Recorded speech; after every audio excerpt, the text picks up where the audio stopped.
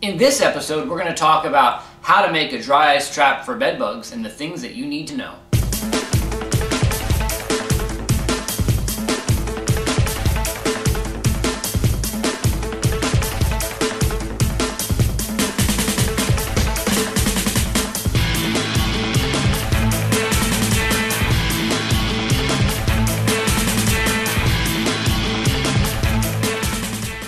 Welcome everybody to Bedbug TV. I'm your host, Jeff White. And in this episode, we're going to talk about using dry ice to trap bedbugs and how to create a trap yourself.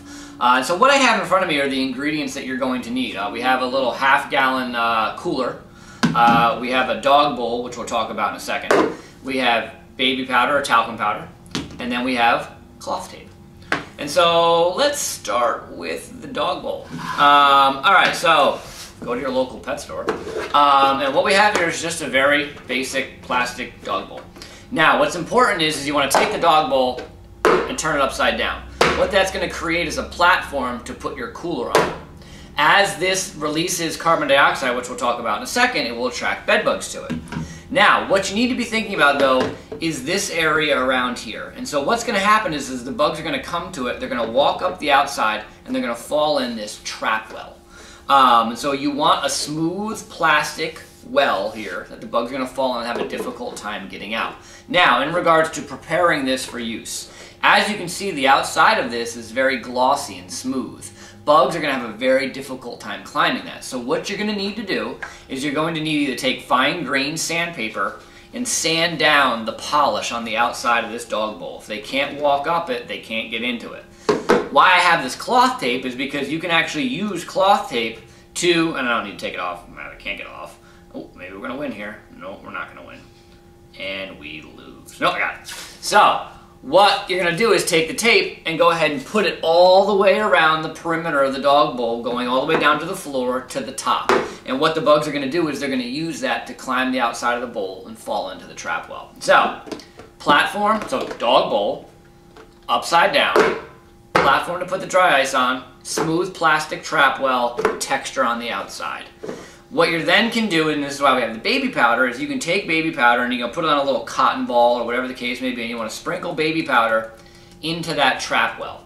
What that's going to do is make it really, really slick and the bugs are going to have a tough time getting out. Some dog bowls you may not have to use this, but many of them it wouldn't be a bad idea. And so again, just a little bit of baby powder in that trap well and you want to get it just in the trap well. Don't get it on the outside and you don't really want to have it on the platform. I guess the platform really wouldn't make a difference, but don't get it on the outside because that might make it too slippery for the bugs to get up. So again, this is just keeping the bugs in the trap well.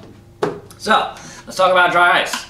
Anytime you're handling dry ice, take all the necessary precautions. Dry ice can be very dangerous. It's very, very cold. It can have actually burn your hands uh, when handling it. So you want to use heavy duty gloves. You're going to go to your local store that carries dry ice and you're going to put as much dry ice as you can fit in this half a gallon cooler.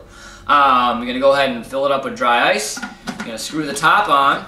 And what I usually do is just open up the uh, nozzle on the actual cooler, which will allow the, the dry ice, uh, the carbon dioxide to get out. Some people will just leave it a crack open. You don't want to leave it completely open because what will happen is, is the ice will just melt way too fast. And so again, nozzle open, whatever the cooler type is you're using, you can think of it. You just want to leave it cracked open. And so what's going to happen is when you put that dry ice in there, as dry ice melts, it actually gives off carbon dioxide, which is what we exhale. And the bugs are actually attracted to it. And so they're actually going to come to the dry ice walk up, and fall in.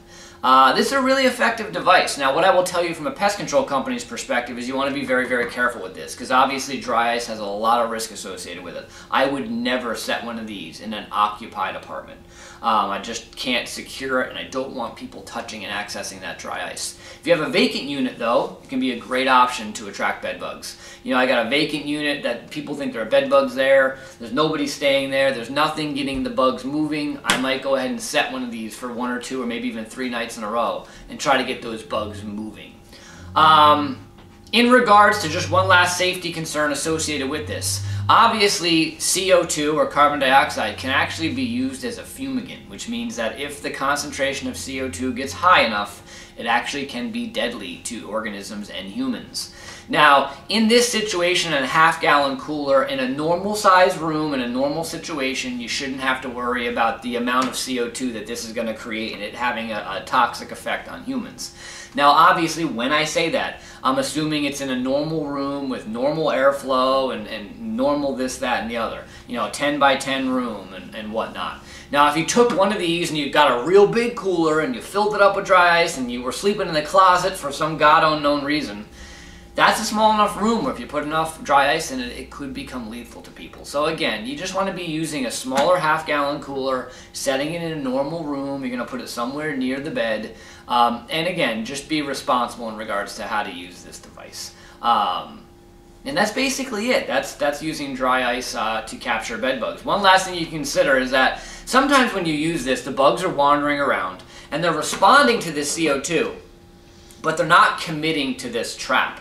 You can also take other types of monitors like the Volcano and whatnot, and there's other ones out there, and you can put them around the room in different places. So as the bugs are trying to find the carbon dioxide, if they come into contact with this monitor, they may walk and walk up and fall in. And so you can actually put monitors away from this but near it, and that will also increase the chance you detect bugs if they're present. Alright, if you have any questions on using dry ice to monitor for bed bugs, you can email me, jeff.white at bedbugcentral.com, and I hope to see everybody soon enough.